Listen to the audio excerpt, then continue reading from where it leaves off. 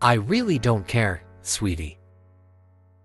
Leonardo DiCaprio's unexpected response to Kate Winslet's birthday. Despite a grim birthday wish, Titanic co-stars Leonardo DiCaprio and Kate Winslet maintain a strong friendship.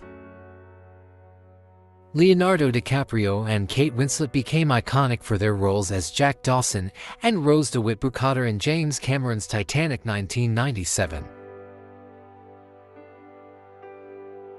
On set, when Winslet shared that she was celebrating her 21st birthday, DiCaprio bluntly responded that he couldn't care less. Despite this seemingly harsh reaction, the two Oscar-winning actors have remained close friends since their Titanic days.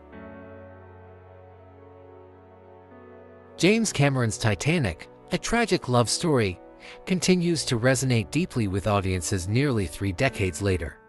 The on-screen chemistry between Jack and Rose captivated millions, but off-screen, DiCaprio and Winslet's relationship was less romantic and more platonic. From the start of their collaboration, DiCaprio wasn't always the epitome of warmth and friendship on set. DiCaprio's unexpected reaction to Winslet's 21st birthday Kate Winslet turned 21 during the filming of Titanic in 1996, and she didn't anticipate Leonardo DiCaprio's blunt response to her birthday announcement.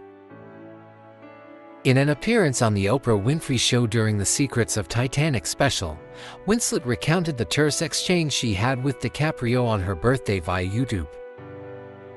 It was my 21st birthday, and I told Leo during one of the takes. I said, Leo, it's my birthday today. And he said, Sweetie, I really don't care. That sharp response was unexpected. One can only imagine his reaction had she turned 25.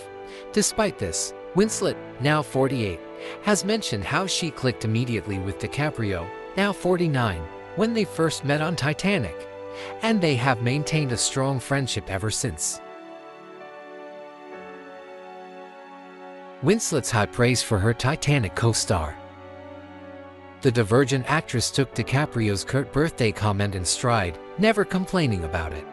Instead, she has always spoken highly of DiCaprio, calling him a ferociously intelligent man and praising his effervescent energy as magnetic. Their deep bond was evident when Winslet broke into tears upon reuniting with DiCaprio after three years apart due to the pandemic. I couldn't stop crying, she told The Guardian. I've known him for half my life. Like so many friendships globally, we've missed each other because of COVID. He's my friend, my really close friend. We're bonded for life. DiCaprio has also expressed his admiration for Winslet.